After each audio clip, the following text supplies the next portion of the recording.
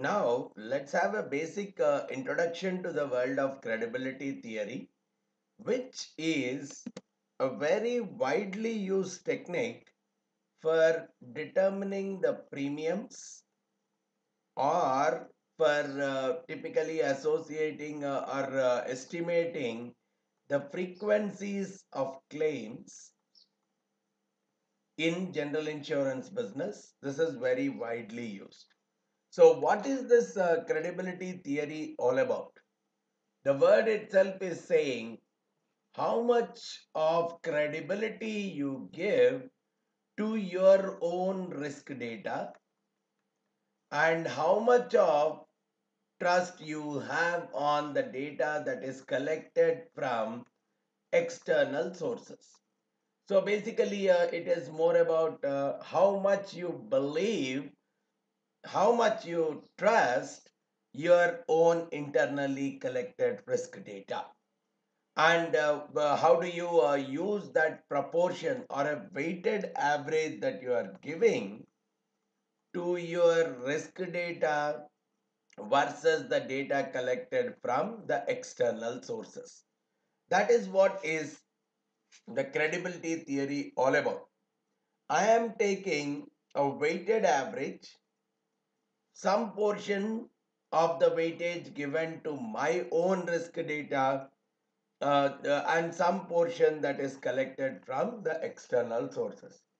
And uh, some of the important concepts that come up here a lot of calculations in this uh, establishing the credibility theory they run around a few manipulations of the conditional expectations so probably if i'm looking at uh, finding out the expected value of x i can very well say that it is the same as expected value of expected value of uh, x given y Similarly, when I am looking of expected value of f of y given y, it is nothing but it is f of y. Then if I talk about uh, the expected value of x f of y, probably take it this way. Expected value of expected value of x f of y given y and this in turn will become expected value of f of y times the expected value of x given y. Now, all these things are the different kinds of uh, manipulations that can be done on the expected values. And at the same time, we also bring in a concept called conditional interdependence we will talk about two variables independently. Individually, they may not be independent, which means the expected value of x1, x2 need not be equal to expected value of x1 times expected value of x2. They may not be independent and in all cases, but given another event y they may become independent. Given another event y, they may become independent. This is where we call x1 and x2 as conditionally independent. So both x1 and x2 are depending on y. But if the value of y is known, then x1 and x2 are independent. That is what we call as conditional independence. And what we are saying is all these fundamentals are used as a part of understanding our credibility theory much, much in an effective manner. Now, let's go further to try to understand this concept of credibility. See, let's say for computing the premium, right? Let's say i want to use it for computing the premium or i want to use it for uh, uh, assessing the claim frequency whatever it is. Now here i'm taking two sets of data. One my own risk right? The risk data of my own company versus the risk data that i have collected for a similar. Similar risk. See, this is more of exactly the same. whereas this is more of a similar either in my organization uh, uh, but uh, or it could be uh, from the industry based uh, outside external sources whatever it is. Now how much weightage i give to this data and to this data to finally arrive at the computation of the premium for the policies which I am introducing. That is what is the credibility approach. So let's say I'm talking about a credibility factor Z, which means I'm if I'm giving a Z weightage to the premiums that I'm computing through my own data set versus 1 minus Z weightage I give to the premiums that are uh, coming from the industry based data.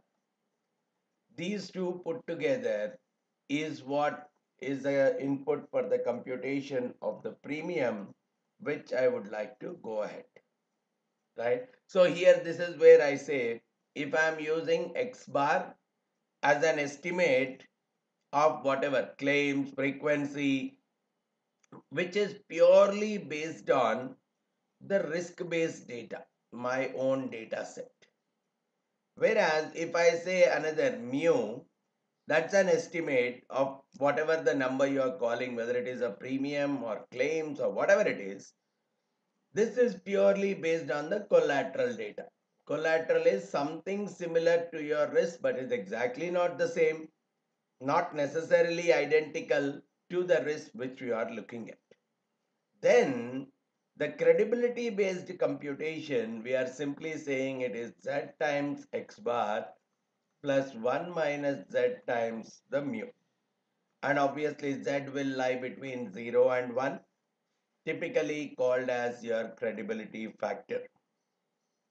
And uh, you can very comfortably explain this concept even to a layman because uh, uh, x bar is representing uh, your own data mu is representing the external data.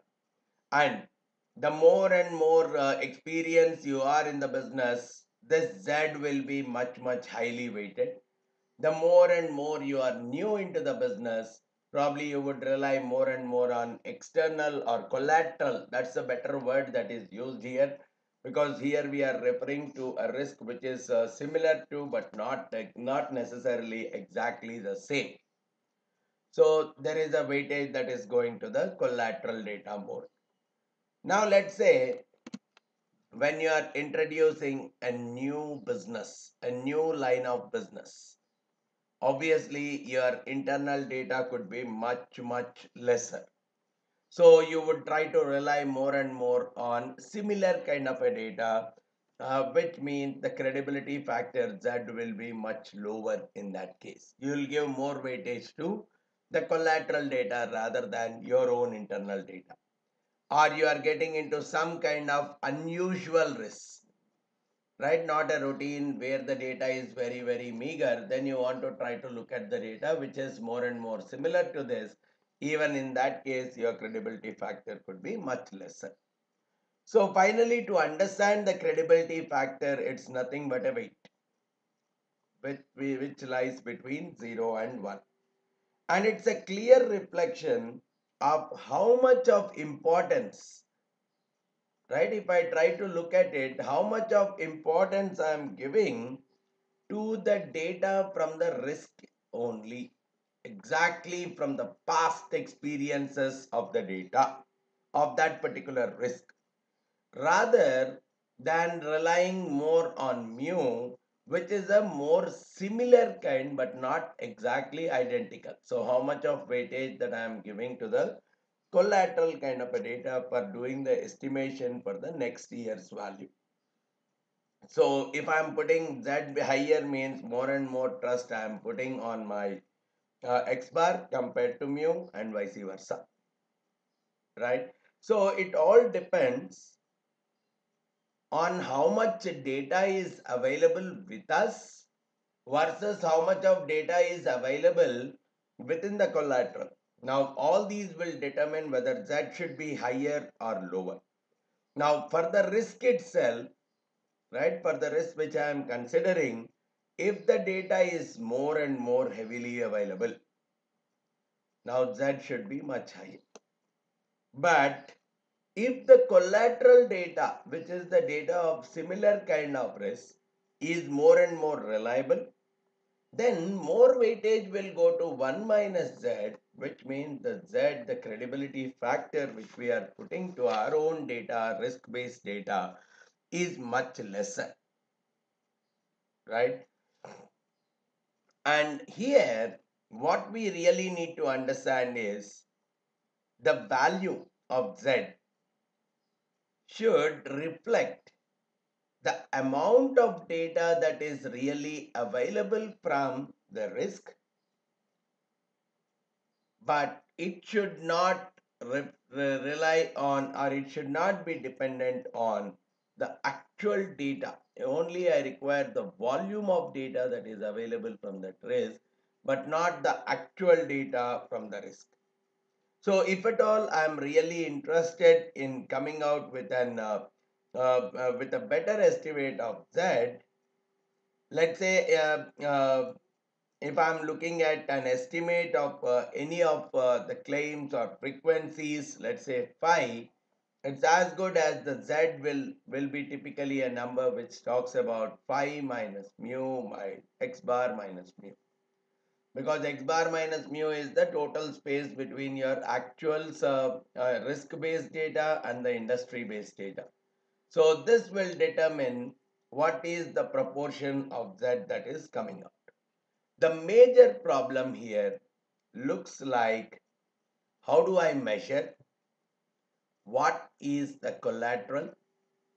What is the kind of reliability I can have on the collateral? What is that I can take as the collateral identical or similar kind of a data to compute the credibility factor. That becomes a very important uh, factor and we are looking at two major mechanisms to address it.